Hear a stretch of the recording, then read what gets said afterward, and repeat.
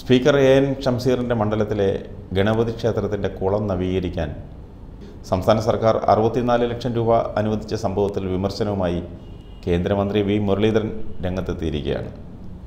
മിത്തിനെ മുത്താക്കാൻ എന്തിനാണ് ലക്ഷ്യങ്ങളെന്നും ഭഗവാനെ നെഞ്ചിലേറ്റുന്ന വിശ്വാസ സമൂഹത്തോട് മാപ്പ് പറഞ്ഞിട്ട് പോരെ ഈ പ്രഹസനമെന്നുമാണ് മുരളീധരൻ ചോദിക്കുന്നത്.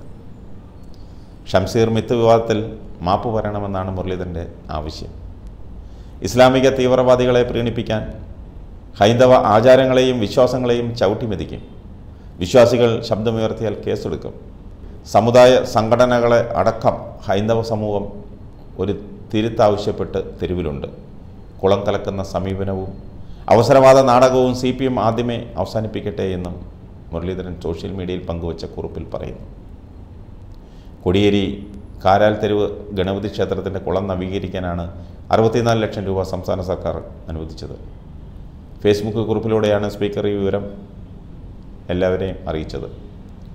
തലശ്ശേരി കൊടിയേരിയിലെ ഏറെ പുരാതനമായ ക്ഷേത്രങ്ങളിലൊന്നാണ് കാരാൽ തെരുവിൽ സ്ഥിതി ചെയ്യുന്ന ഗണപതി ക്ഷേത്രം.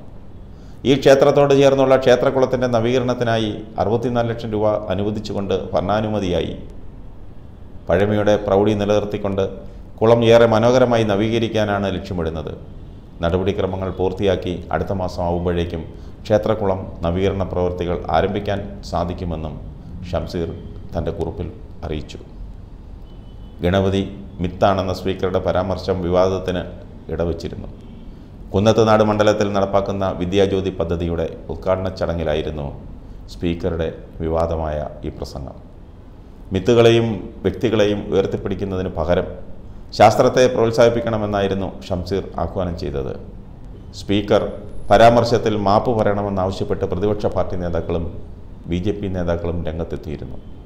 പരാമർശത്തിൽ പ്രതിഷേധിച്ച് എൻ എസ് എസ് നാമജപ ഘോഷയാത്രയും നടത്തിയിരുന്നു. പക്ഷേ അതെല്ലാം ചീറ്റിപ്പോയി.